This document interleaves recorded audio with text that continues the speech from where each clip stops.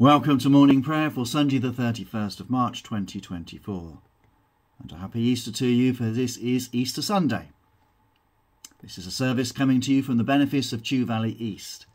You can download it from the lakesidegroup.org website. And then, if you wish to, then please join in with us.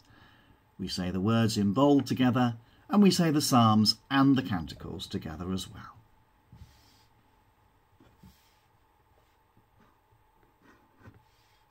So let us pray.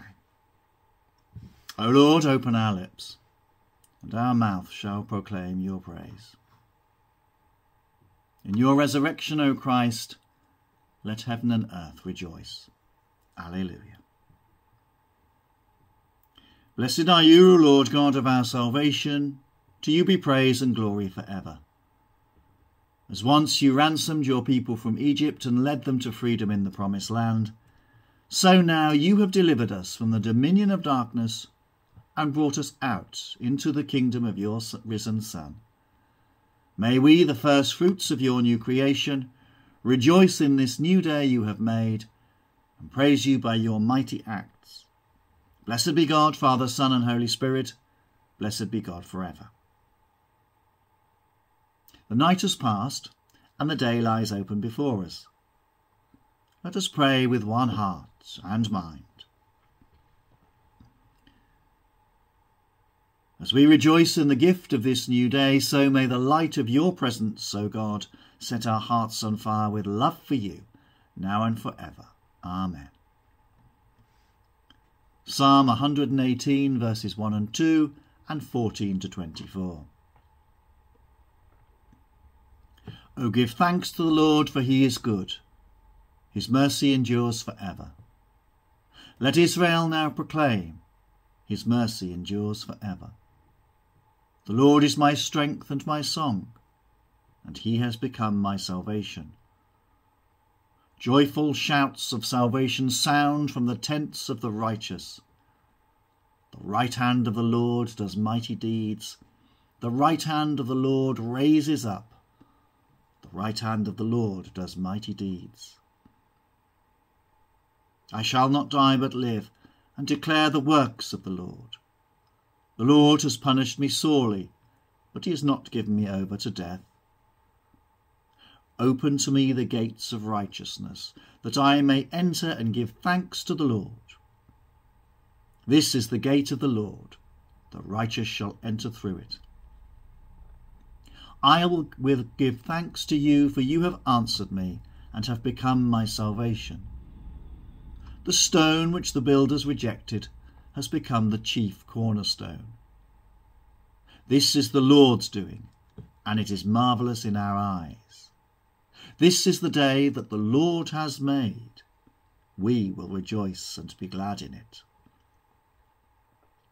Glory to the Father, and to the Son, and to the Holy Spirit, as it was in the beginning, is now, and shall be for ever. Amen. A reading from the Acts of the Apostles, chapter 10, verses 34 to 43. Peter began to speak to those assembled in the house of Cornelius. I truly understand that God shows no partiality, but in every nation anyone who fears him and does what is right is acceptable to him. You know the message he sent to the people of Israel, preaching peace by Jesus Christ he is Lord of all.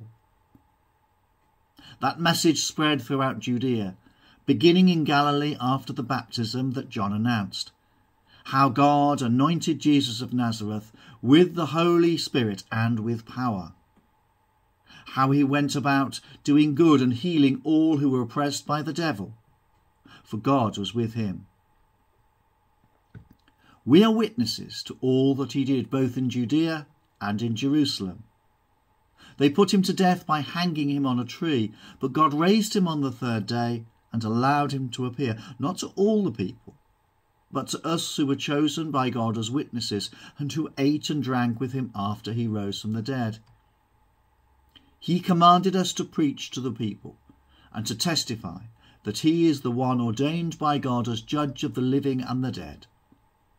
All the prophets testify about him, that anyone who believes in him receives forgiveness of sins through his name. In your unfailing love, O Lord, you lead the people whom you have redeemed. Alleluia. I will sing to the Lord who has triumphed gloriously. The horse and his rider he has thrown into the sea. The Lord is my strength and my song and has become my salvation. This is my God whom I will praise, the God of my forebears whom I will exalt. The Lord is a warrior the Lord is his name. Your right hand, O Lord, is glorious in power. Your right hand, O Lord, shatters the enemy. At the blast of your nostrils, the sea covered them. They sank as lead in the mighty waters. In your unfailing love, O Lord, you lead the people whom you have redeemed, and by your invincible strength you will guide them to your holy dwelling. You will bring them in and plant them, O Lord, in the sanctuary which your hands have established. Glory to the Father, and to the Son, and to the Holy Spirit, as it was in the beginning, is now, and shall be for ever. Amen. In your unfailing love, O Lord, you lead the people whom you have redeemed. Alleluia. A reading from the Gospel of John chapter 20, verses 1 to 18. Early on the first day of the week, while it was still dark, Mary Magdalene came to the tomb and saw that the stone had been removed from the tomb. So she ran and went to Simon Peter and the other disciple, the one whom Jesus loved, and said to them, They have taken the Lord out of the tomb, and we do not know where they have laid him. Then Peter and the other disciple set out and went towards the tomb. The two were running together, but the other disciple outran Peter and reached the tomb first. He bent down to look in and saw the linen wrappings lying there, but he did not go in. Then Simon Peter came, following him, and went into the tomb. He saw the linen wrappings lying there, and the cloth that had been on Jesus' head, not lying with the linen wrappings, but rolled up in a place by itself. Then the other disciple who reached the tomb first also went in, and he saw and believed. For as yet they did not understand the scripture that he must rise from the dead. Then the disciples returned to their homes. But Mary stood weeping outside the tomb. As she wept, she bent over to look into the tomb, and she saw two angels in white, sitting where the body of Jesus had been lying, one at the head and the other at the feet. They said to her, Woman, why are you weeping? She said to them, They have taken away my Lord, and I do not know where they have laid him. When she said this, she turned round and saw Jesus standing there, but she did not know that it was Jesus. Jesus said to her, Woman, why are you weeping? For whom are you looking?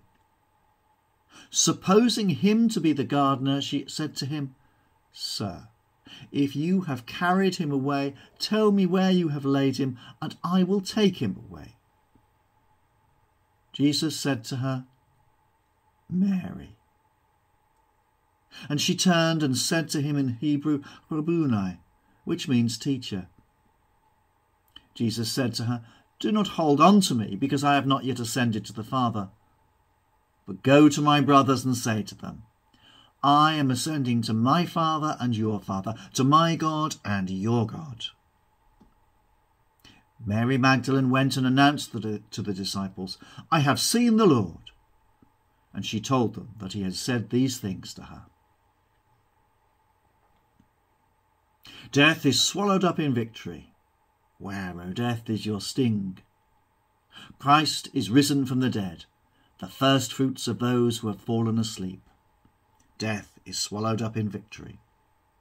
The trumpet will sound and the dead will be raised, where, O death, is your sting? We shall not all sleep, but we shall be changed. Death is swallowed up in victory. Where, O death, is your sting? The Benedictus. The Lord is risen from the tomb, who for our sakes hung upon the tree. Alleluia. Blessed be the Lord, the God of Israel, who has come to his people and set them free. He has raised up for us a mighty Saviour, born of the house of his servant David. Through his holy prophets, God promised of old to save us from our enemies, from the hands of all that hate us, to show mercy to our ancestors, and to remember his holy covenant. This was the oath God swore to our father Abraham, to set us free from the hands of our enemies, free to worship him without fear, holy and righteous in his sight all the days of our life. And you, child, shall be called the prophet of the Most High for you will go before the Lord to prepare his way, to give his people knowledge of salvation by the forgiveness of all their sins. In the tender compassion of our God, the dawn from on high shall break upon us, to shine on those who dwell in darkness and the shadow of death, and to guide our feet into the way of peace. Glory to the Father, and to the Son, and to the Holy Spirit, as it was in the beginning, is now, and shall be for ever. Amen. The Lord is risen from the tomb, who for our sakes hung upon the tree. Alleluia. Our prayers of intercession. To the words, Jesus, Lord of life, please respond, hear our prayer. As we celebrate the risen Christ, let us pray to the God of life in whom we live. May the Church of God be bursting with new life, filled with a love that takes even death in its stride. The Christians all over the world, in places of safety and in places of fear, all in their various ministries, will work in God's strength for the coming kingdom. Jesus, Lord of life, hear our prayer.